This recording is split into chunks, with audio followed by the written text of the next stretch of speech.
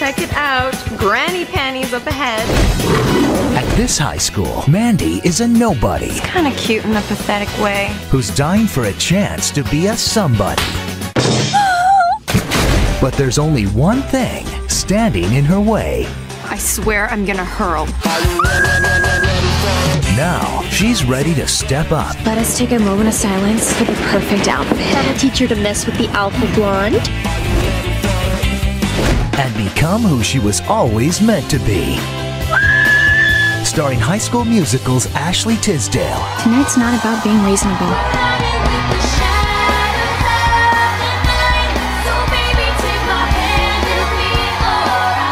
picture this. You're the most beautiful girl here.